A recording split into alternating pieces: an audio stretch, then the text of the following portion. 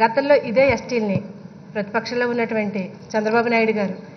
SC ఎస్టీలుగా పుట్టాలని ఎవరు అనుకోరని చెప్పేసి ఏ రకంగా అవమానించారో అందరూ చూశారు అధ్యక్ష. అదే ఎస్టీల్ని ఈరోజు జగన్మోహన్ రెడ్డి గారు అందులోనూ ఒక ఆడపిల్లకే డిప్యూటీ సీఎం పదవినిచ్చి గవర్నమెంట్ ఒక మంత్రి పదవినిచ్చి ఏ రకంగా గౌరవించారో చూసాము ఒక నాయకుడు ఎలా ఉండకూడదనేది నలభై ఏళ్ళ అనుభవం ఉన్న వ్యక్తి ఈ సభలో చూస్తా ఉన్నాము. ఒక నాయకుడు ఎలా ఉండాలి అనేదానికి ఒక నలభై ఏళ్ళ వయసు ఉన్న వ్యక్తి రాజకీయం కూడా ఇదే సభలో చూస్తా ఉన్నాం ఇద్దరిని కూడా. కాబట్టి కొత్తగా సభకు వచ్చిన మాలాంటి వాళ్ళకి నాయకుడు ఎలా ఉండాలి ఎలా ఉండకూడదు ఇద్దరిని ఒకే సభలో చూసే దానికి ఇది వేదిక అయింది. రాజశేఖర్ రెడ్డి గారి కోసం మా గిరిజన ప్రజలు ఎవరైతే గుండెల్లో గుడి కట్టుకున్నారో ఆ గుడిలో దేవుడు లేనటువంటి పరిస్థితి అయిపోయింది అధ్యక్ష.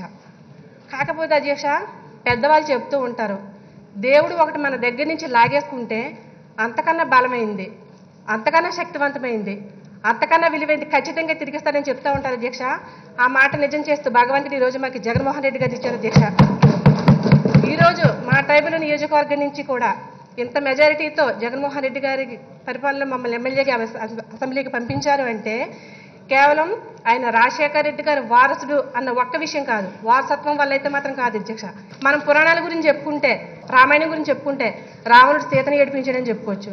ఆ భారతం గురించి భాగవతం భారతం గురించి చెప్పుకుంటే దుర్యోధనుడు ద్రౌపదిని ఏడిపించి చెప్పుకోవచ్చు. కానీ ఈ కలికాలంలో ఆంధ్ర రాష్ట్రంలో ఆడపడుచులందరినీ ఏడిపించినటువంటి ఒకే ఒక ఆ పదం వాడచ్చలేదు నాకు తెలియదు అలాంటి వ్యక్తి ఉన్నారు అంటే అది కేవలం ఒక చంద్రబాబు నాయుడు గారే. ఈ ఆడవాళ్ళ విషయం తగిలి ఈ రోజు ఇరవై మూడుకి వెళ్ళిపోయారని చెప్పేసి నేను చెప్తా ఉన్నాను అధ్యక్ష. మా పల్లెటూరులో చూస్తూ ఉంటాం అధ్యక్ష.